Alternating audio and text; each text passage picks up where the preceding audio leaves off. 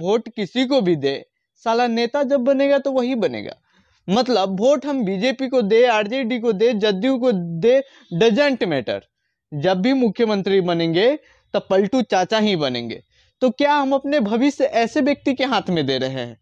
हम शिक्षक अभ्यर्थी हैं, हम असफल हुए हैं। असफल खुद के वजह से नहीं हुए हैं, असफल सरकार के नियम के वजह से हुए हैं, सरकार के तंत्र के वजह से हुए हैं। हमारी असफलता का कारण हम स्वयं नहीं है। हमें तो अब ऐसा फील होता है कि बिहार में जन्मे हैं और हमें चप्पल से मारो कि हम बिहारी हैं। क्योंकि हमारे सर पे है ना, मजदूरी का ठिका लिगा गया है यहाँ पे कि हम जब भी बनेंगे तो मजदूरे बनेंगे।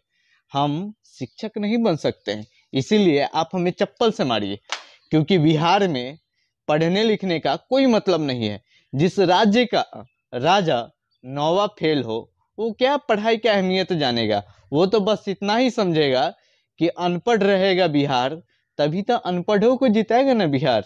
जब बच्चा पढ़ लिख लेगा, यहाँ के नागरिक रोज़गार ले लेंगे तो फिर उनका दाल भात कैसे चलेगा? रोटी कैसे चलेगा?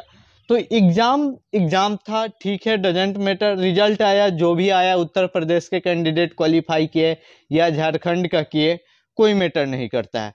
अब हमें बस एक ही चीज़ का ध्यान रखना है कि जिस तरह से हमें लात मारा गया है, जो पुराने तंत्र के अकॉर्डिंग सीटेट क्वालिफाई थे, उनको न लेकर के बीपीएससी का बहाना करके बाहर फेंका गया है, उसी तरह से जब विधायक का विधान परिषद का चुनाव होगा तो ज़रूरी नहीं कि हर व्यक्ति को हम वोट दें, क्योंकि हम शिक्षित हैं और शिक्षित को ही वोट देंगे।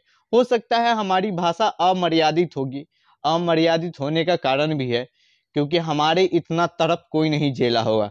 खास करके बिहार में, क्योंकि बिहार में पैदा लेना सबसे बड़ा गुना है। दो मिनट के लिए पाकिस्तान में पैदा लेने से ये तो कम से कम दिल को तसल्ली होगी कि भिखमंगे देश में पैदा लिए हैं।